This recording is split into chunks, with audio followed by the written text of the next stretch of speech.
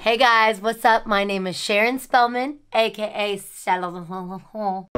Hey, what's up, guys? My name is Sharon, aka Sharon.simplyinsane on all my social media platforms. You guys probably know me from my racist Robin video.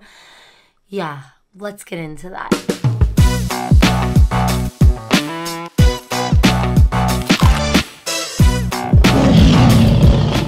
This is my first vlog. Literally my first vlog. And it's so funny because I have been talking about this for how old am I? I'm 25.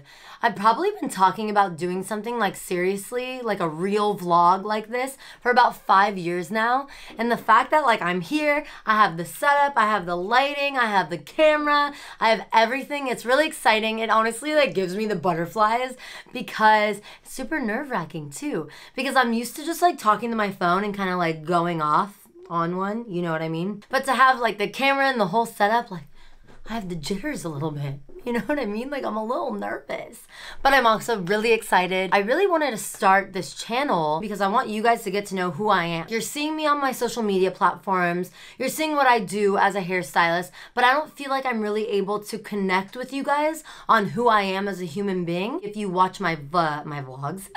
Obviously, if you guys watch my stories all the time, you do get to see more of who I am, but a lot of you don't really have time to watch stories, and I totally understand that. So that's kind of why I wanted to start this channel, so you guys can log on, subscribe, hit that mother button. For those of you that probably are on here and know me from my racist Robin video of my client who came in, was very disrespectful and racist to my assistant who is Hispanic. It was very bold. And I, I get that. It was really like I kind of took a stand when a lot of people won't really take that stand.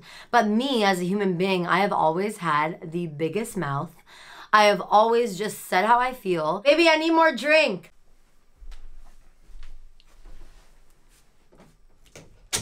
Okay, I am gonna take a sip of my mimosa and then I wanna get into the Robin situation.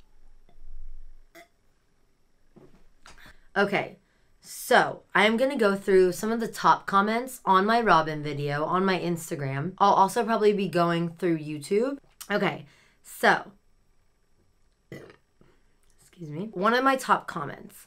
So I've watched this whole video a few times now, and while I believe this woman is completely in the wrong and the stylist handed her to, and the stylist handed her, dude, I cannot read for so I've watched this video a few times now, and while I believe this woman is completely in the wrong and the stylist handled herself unbelievably well, I'm still not seeing where the racist part comes into play. I was an assistant for two years, and there were a couple of clients that didn't want me to do their hair just because they didn't want me to. I didn't take it personally, nor did I think it was racist. What am I not seeing? Okay, let's talk about that really quick. For those of you that did watch my live, the I think it was the day after I posted the video and then the next day as well, I posted a couple lives because a lot of people were asking that. So, racism. Let's talk about that for a second. Not everyone that is racist is all up in the grill like, mm, I don't like blank.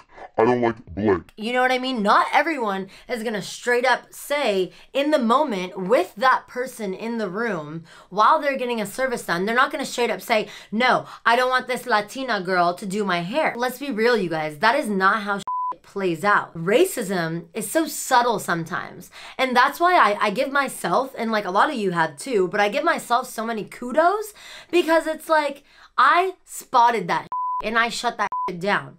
And if there were more people like me in the world to shut down subtle racism, we'd probably be a lot more happy and we'd probably be way more peaceful as one because the more people we call out for racism, the more they're gonna silence themselves and at least go into their own hole. And because not all people are willing to change. Don't get me wrong i feel like i can change people. But if someone is like born racist like their family's racist and they're just a racist human being normally those people aren't going to change their way of viewing.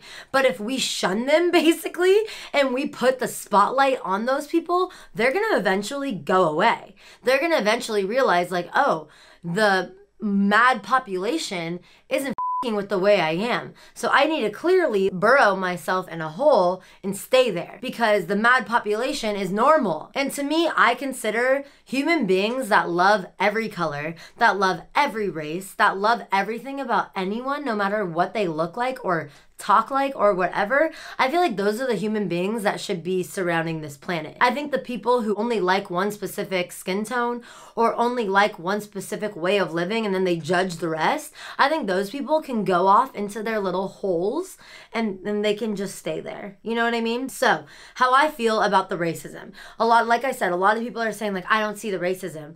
I listened to the whole video over and over again and I didn't see or hear any racism. Y'all, when I tell you, and when my assistant, she comes on my live and she speaks for herself, when you feel racism, it's racism. I don't care what you guys say. You guys saw thir- three minutes and 16 seconds of the situation that my assistant Alex and I were put in. So for you guys to judge me and say, like, there was no racism, you're the racist one, blah, blah, blah, that's to me. Because it's it, i understand the people saying like hey like i don't really see the racism. What is it like? Why is it racist? I understand that and that is why i went on my live and i broke that down. But let me break it down again. So robin she has been my client for like a year and a half two years and she calls me probably like every four weeks. She'll call me like two weeks ahead of when she wants her appointment, and we'll talk about when she wants to set up her appointment, what she wants done, and my availability. So, my boyfriend, you guys, was my living proof. So he's there, we're in the car. I think we were on our way to dinner. She calls me. I put it on speaker because I always put people on speaker. It's kind of what I do. And I put her on speaker and we're talking and I say, Hey Robin, like I got an assistant. And she was like, Oh my God, congratulations. And I told Robin, you know, she's gonna be with us at your next appointment, which was the following two weeks from then. And she was very aware that she would be, you know, my assistant would be doing her hair.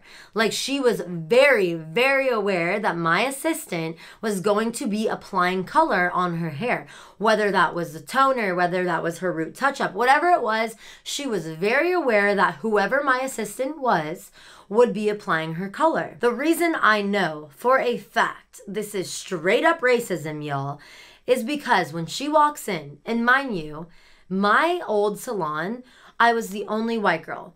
I was it was uh, my old salon was full of Latinas and Latinos and I loved it. I get along with those spicy human beings so much.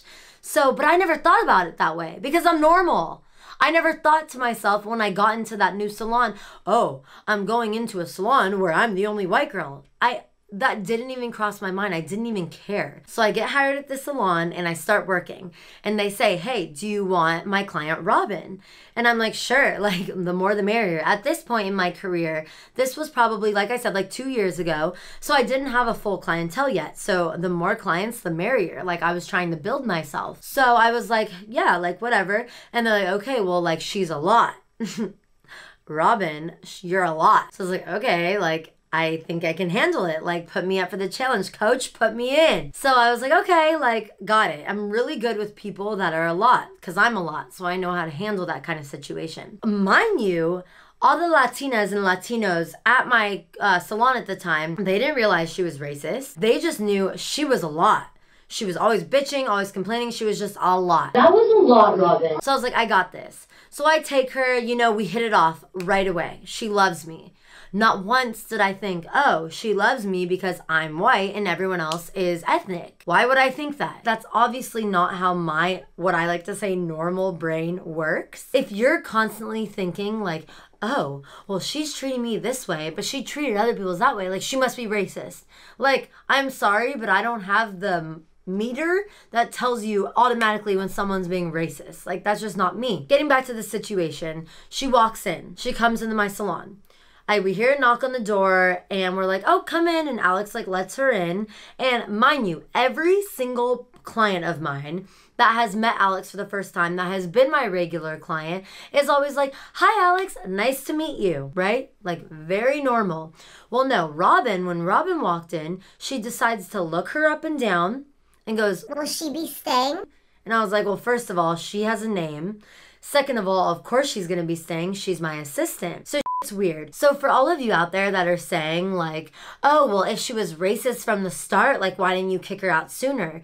Like you guys have to understand subtle racism is way big right now in the world. So it's not like we instantly thought like, "Oh, this is racism." We instantly were just like, "Okay, maybe Robin's in a weird attitude. Like, what do we know? So we look at each other, Alex and I, and we're like, okay, moving forward. So we go through the you know, the consultation. We're talking about what we're gonna do, blah, blah, blah. We get going. She starts bitching and talking about all of her like venting session, like we would always do. And then it gets to the point where Alex is gonna take over, like Robin knew.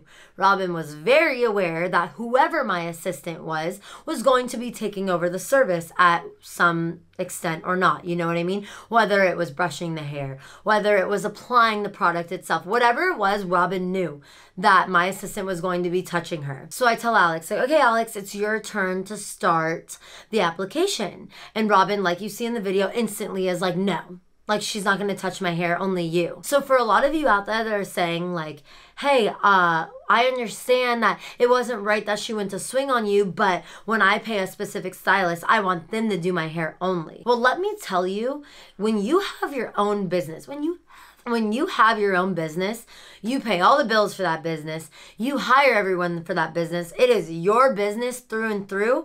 You're going to do whatever you want. So, for those of you out there telling me basically how I should run my business, it's really like an insult because it's like, None of you are the reason where I am right now. None of you are one of my clients. None of you have sat in my chair and paid me a dime. So you really don't have anything to say about this matter. So moving forward, instantly, I'm like, okay, this is weird. Like, why would Robin get upset about my assistant doing her hair when she was very aware that my assistant would be doing her hair? The craziness happens. She goes to swing on me, and then the dust settles a little bit, right? So Alex calls her mom. I call my mom. Alex calls her boyfriend. I call my boyfriend. We're like, is this real life right now? Like, Pinch me, am I dreaming? like, is this seriously what just happened right now? And then it dawns on me. And then I'm sitting there and mind you guys, I am very aware of white privilege. I know that's a huge thing right now. I mean, not even right now, it's always been a huge thing. White privilege is something that a lot of white people don't realize they have. And I am someone who was born and raised in a family where they educated me. You know, they told me, like, this is what happens to other people, and this doesn't necessarily happen to us. And so I was very aware of how unfair the world is. So, with that being said, I took a second to assess the situation, and then I remember I looked at Alex and I was like, Look, I could be wrong. This could just be my point of view, and I want to hear yours. But do you feel like this was full blown racism?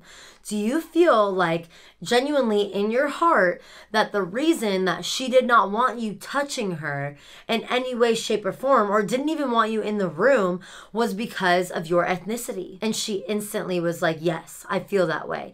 And that's when I hit it on the money and I was like, no, this is not going to happen. I will not stand for this. I need I need to be bolder. I need to be bigger about this. People need to know that this is really happening in everyone's day-to-day lives. So, going back to the whole situation of me posting, a lot of people are like, "Oh, you wanted to go viral. This was all a setup." Da da da. Like you guys, first of all, thank God for my 24/7 surveillance because without that, I would have never had this to show to the world. It would have been my world uh, my word against hers.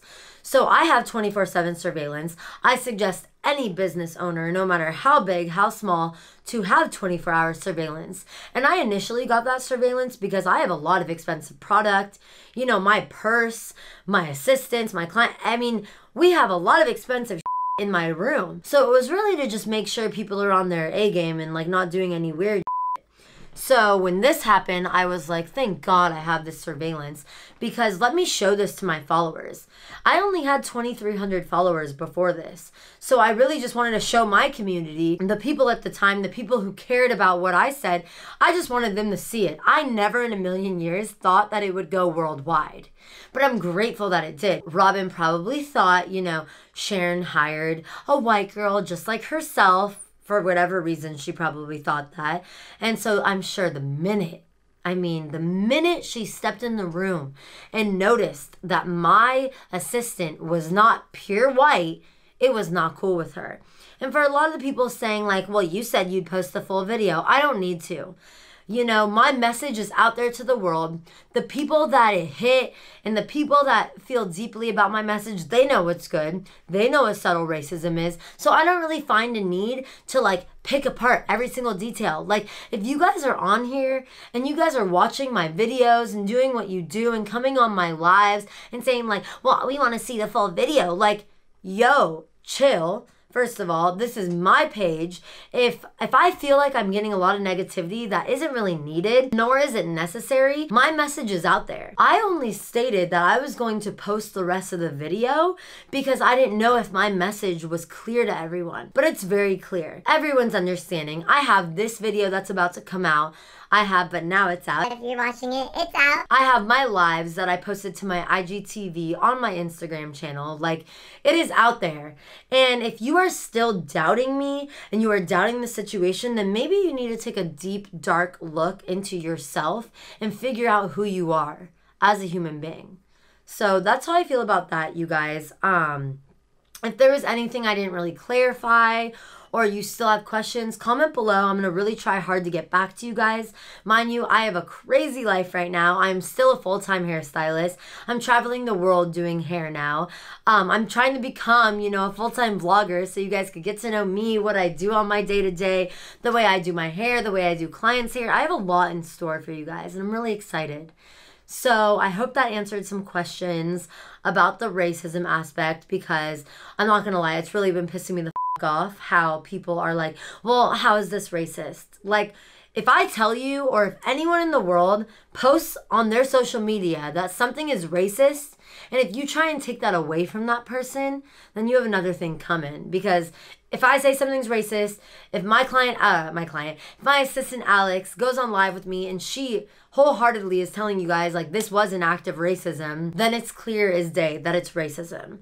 And if you guys can't grasp that, then you might as well unfollow me. Period. Okay, I want to get into a couple other comments before I have to ta-ta. Another comment was, what non-stylists need to understand is that all salons operate differently. Some have assistants and some don't. The decision is made by the owner, me. If you trust your stylist, then you should trust their decision to hire an assistant. They know what they're doing. It's not just some person she grabbed off the street. It's offensive to someone I'm sorry, it's offensive to everyone to combat the decision of the stylist. Worst case scenario is that she didn't like some of the color placement, which I can almost guarantee you wouldn't have been an issue because the owner would always oversee and check everything and handle it. That's literally worst case scenario. Robin didn't need to show her ass like she did, period. Trust your stylist. Trust your stylist, and if it doesn't work out, find another. It's just hair. Also, bucket me in my studio like that, and I'm flipping your ass out of the chair. In the nine years I've been doing hair, I've never seen anything like this. Looks like Robin will continue to jump from salon to salon, pissing people off before she finally learns how to be cool and respectful which I added for myself. So, yes, a lot of people need to understand that this is my business. So, I've been getting a lot of hate comments about people saying, like, it doesn't matter whether it's your business or not. If a paying customer wants you, then they want you. Well, I don't care what paying customer you are. If you don't fuck with the way I run my business, you can go. Or I will tell you to go. If you don't like the color I'm using because you think you know more, you can go. If you don't like the bleach that I use because you think you know better, you can go and go to a stylist or do it yourself that uses the bleach you like. Whatever it may be, if you don't with what I'm doing, then there's no reason for you to be coming into my business and paying me a dime. Point blank, period. I don't really understand that because it's my business. And it's not like I would go into a Subway and tell the owner of Subway, like, hey, you need to keep your chips on the left side of the register, not the right, because the right side doesn't give as much. You know what I mean? Like, who are you? Who am I? Who are we to tell any business owner how they need to run their business or how they should run their business? They're clearly where they are because they got themselves there, because they're a business owner. The people who aren't business owners, I mean, don't get me wrong, you might be on your come up. You might be working your booty off to become a business owner. But until then, if you are working for someone, you don't really have a say. Like I used to be a waitress, and when I was waitressing, it's not like I could tell the restaurant owner, "I think we need to do things like this." It's not my place. It is her business. She's invested all her money into this business. Who am I to tell her how to run the business? If I don't like it, I'll just start my own restaurant business. You know what I mean? So, for those of you on social media telling me how I should run my business, make one of your own. Let me see you do better. Point blank, period. Cheers to that. Let's find some more comments. Okay, so someone said, What happened right before the start of this video? I missed the racist part. What did she say that was racist? I mean, this client is out of line for raising her hand to someone, not condoning it, but in the slightest, she has some issues. But I missed what she said that was racist. The only time I heard anything about the assistant being Hispanic was from the stylist, Karen. I mean, Sharon. So, is this the first time you've had your assistant finish Robin's hair? If I'm going to have a stylist and she tells me once I sit in the chair that someone else is going to finish my hair, I would have a few questions and comments too. Like, let me see your resume, pictures of your work, or something. I don't know, you? I came for Sharon. And then she said, hashtag I need the before, hashtag never heard racism, hashtag two Karens in this story, hashtag I'm picky about my hair too, Robin, hashtag what really happened. I'm gonna have to take a second. Honestly, y'all, that comment pisses me off. Because number one, and this is what I've been saying the most if you've been on my lives and my stories or whatever. Who are you to tell me?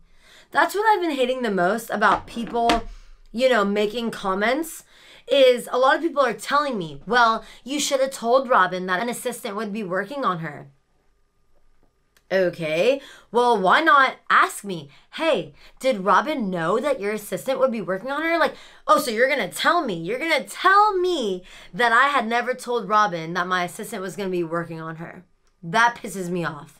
And I'm like spitting. When I'm angry, my lips get together and I spit a lot. That really, really irks me, you guys, because it's like, are you on here to tell me what you think you know? because I'm pretty sure you weren't there, or are you here to ask me a simple question? This bitch was clearly telling me what's good. So, number one, the fact that she's calling me a Karen when I'm just standing up for what's right, like, canceled. Number one. Okay, and number two, this girl says, I would have a few questions for your assistant and comments too. Like, let me see your resume, pictures of your work. Let me just tell you guys right now if you go out and you are like, oh, right, like I'm gonna spend some top notch money. I'm gonna go out to Beverly Hills. I'm gonna get my blonde done. You know, I've been saving for a year. This is a treat to myself. If she has an assistant, you actually think you're gonna sit there and be like, I'm gonna need to see her resume. I'm gonna need to see pictures of her work. My assistant was covering an inch and a half of gray. I'm sorry, but if a client ever came and sat in my chair and said, I'm to need to see her resume, you know what I would say? I'm to need you to leave. Point blank, period. You do not come at me. And like I say in the video, and I'll say it again, I'm the boss here. In my salon, whether it's when I own my salon within a year from now, stay tuned. Whether it's my own Simply Insane salon, whether it is my salon suite, whether it is my station, whatever it may be, you are not the boss here. I'm the boss here, Robin. You don't like the way I'm running shit? Respectfully leave. Be like, you know what? I feel like maybe we're not the match made in heaven. Maybe we're not meant to be together. I'm going to go find another stylist. No hard feelings. Here's your deposit back. Have a nice day. The people being positive on my platform, you are the reason that I'm taking my platform to the next level. If it wasn't for you guys telling me, like, your voice means something, you know, like we appreciate you, I probably wouldn't be sitting here right now showing you who the I am. I stand for anti-racism. I stand for anti-discrimination. I stand for anti disrespect. Point blank period. You know what I'm saying? I stand for all that. But this specific Robin situation that I had in the salon, I feel like it's consuming my life and it's all you guys see me as. And I want to, you know, put it to the side. Let's, you know, gain some other shit. Let's talk about some other Let's put some other people on. That's what I'm all about. Like, I I want to hear from you guys. I want to know what you guys want me to talk about. If you guys have gone through a crazy situation, I'd love to have you. Let's do a vlog together and let's talk about your crazy situation. I kind of just want to stand for something. I don't want to just be, oh, the girl who went viral for standing up to her racist client. I want to be more than that. I want to show you guys that I have a huge ass voice and I will put it to work if you guys allow me to. Okay, Mwah. love you guys.